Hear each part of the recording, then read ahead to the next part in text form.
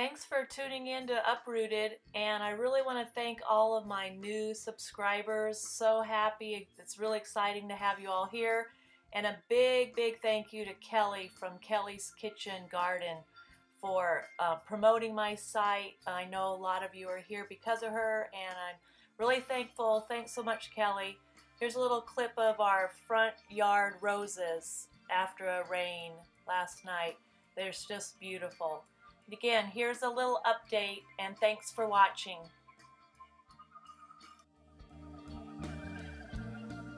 Hello everyone. This morning um, Jim has left me his pickup so I can head over to the cedar mill to pick up some more cedar boards to build some more of our beds.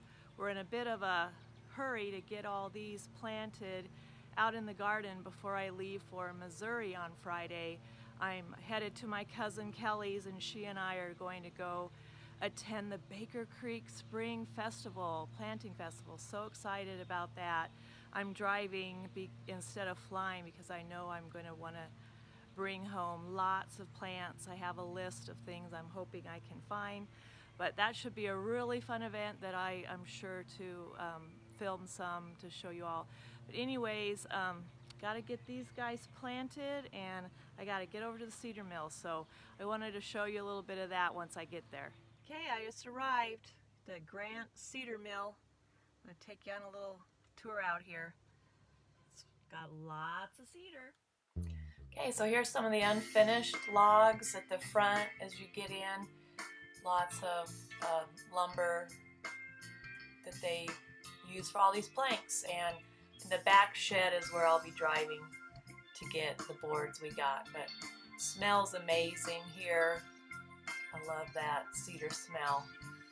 So now I'm in the warehouse and there's a lots of, of different sizes. Uh, we were getting um, 10 by 8s.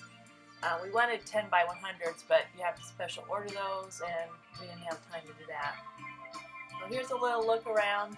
They're dumping mulch in that truck and we're really happy we found this place. It's a lot more affordable buying the boards here. Jim found a food grade oil that we're using to just kind of preserve the color a little bit. So we put those on after. He runs them through a small planer he has in the garage. We have bags and bags and bags of cedar sawdust. I don't know what I'm going to do with it. If anyone has any suggestions, I'd love to hear what we could do with some of this cedar um, mulch. I know it's, I don't think it's good for the garden, so I need to check that out. But we're just putting it in big bags for now.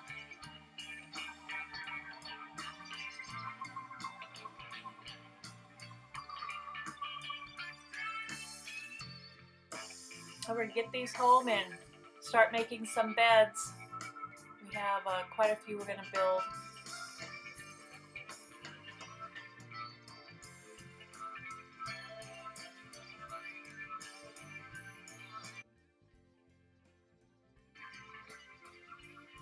Well, we weren't going to be able to get all the ones built that we had, but here's just a few photos. We got some rain, so I couldn't do a lot of filming, so here's a little update. I know I need to show more, but this is kind of how it's coming along.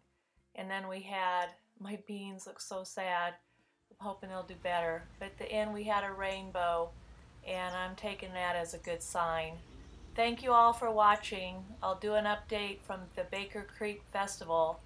Bye-bye for now. Thank you.